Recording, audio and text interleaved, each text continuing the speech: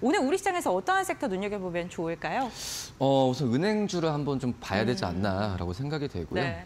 뭐 지금 금리 인상, 뭐 big step 뭐 얘기 나와주고 이- 있는 상태에서 대표적으로 이제 금리 인상 수혜 주, 수혜 업종이 바로 이제 은행이거든요. 하지만 이 은행 업종들 같은 경우는 연초 대비해서 뭐 30% 가량 주가가 좀 빠진 상태다라고 말씀드릴 수 있겠고 뭐 이런 이유 같은 경우가 뭐 여러 가지 있겠지만은 이제 글로벌적으로 봤을 때도 미국의 은행들이 이 금리 인상의 수혜가 아니라 오히려 좀 주가가 더그 빠지는 모습 때문에 우리나라 은행주들 같은 경우도 같은 흐름을 좀 가져가고 있는 상태고 뭐 아시겠지만은 이제 정부 같은 경우 정부에서도 이 은행들의 이런 금리 이자나 금리 인상에 대한 부분에 있어서 뭐 이자를 올리는 부분을 좀 약간은 좀 제한적으로 좀 정책을 펼치고 있기 때문에 이런 여러 가지 이유, 이유가 이 은행 업종의 주가에 대한 부분에 있어서 어, 크게 힘을 좀 발휘를 못하고 있는 상황인데 이 본다고 하더라도 이 이익 모멘텀 같은 경우는 제가 본다고 하더라도 은행들은 견고하다라고 좀 생각이 되고 있어요. 물론 이제 뭐 대손 비용이 발생할 수 있는 상황이 몇 경기 하락으로 있겠지만은 오히려 지금 본다고 하더라도 이 미국 은행과 우리나라 은행의 어떤 이익적인 어, 추정치 같은 경우는 우리나라 은행들이 더 높기 때문에 오히려 좀 주가 떨어졌을 때는 저평가 구간으로 가지 않을까라고 좀 생각이 되고 있고 또 연말로 갈수록 어떤 배당주에 대한 매력이 좀 부각이 어, 될 텐데 올해는 더 심할 거라 생각이 되고 있어요. 뭐 시장 자체에 대한 어떤 상승 모멘텀이 부족한 상태에서 이 안전한 이 배당주에 대한 투자 매력을 더욱더 가져갈 가능성이 좀 크기 때문에 이 은행 업종에 대해 은행 업종을 어떤 연말과 하반기 때 봤을 때는 좀 지금 시점에서는 매수 타이밍을 잡아야 되지 않을까라고 좀 판단 되고 있습니다. 네, 은행주들 지금 저평가 구간이고 배당에 대한 매력도가 연말이 될수록 부각을 받을 것이다라고 이야기를 해주셨습니다. 그렇다면 전일 급등했던 뭐 제조은행이나 푸른저축은행은 아닐 것 같고요. 네. 네. 오늘 시초가 공략하면 좋을 종목 어떤 걸로 선정하셨을까요? 어, 우선 여러 가지 면에서 봤을 때 고르기가 굉장히 힘들어요. 어, 네. 네. 근데 하지만 어, 제가 선택한 종목은 바로 기업은행인데요.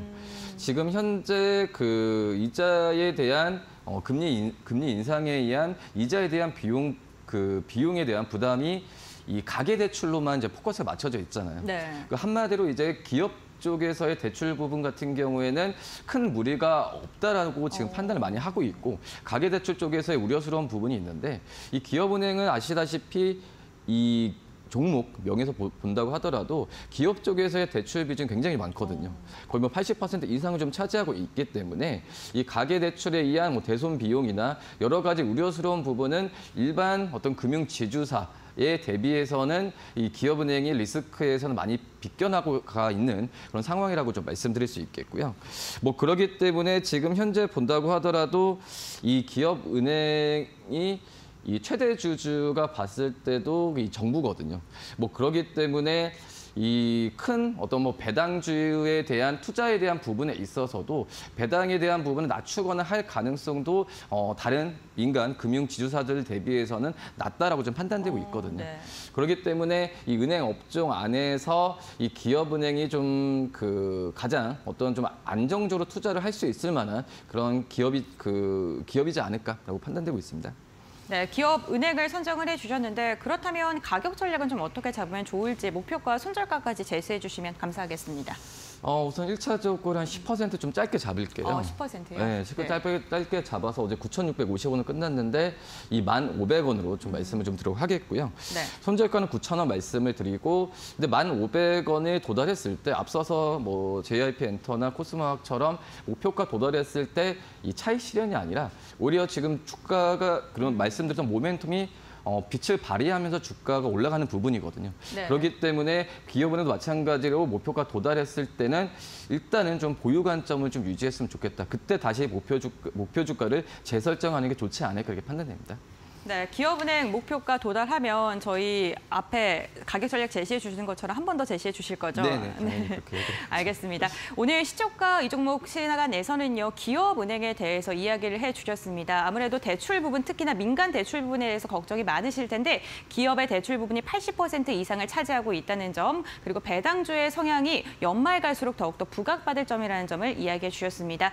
매수가는 시초가로 한번 공략을 해 보시면 좋을 것 같고요. 목표가는 1,500원, 그리고 손절가는 9,000원으로 제시해 주셨습니다. 오늘 시초가 공략주로 한번 참고를 해 보시면 좋을 것 같습니다.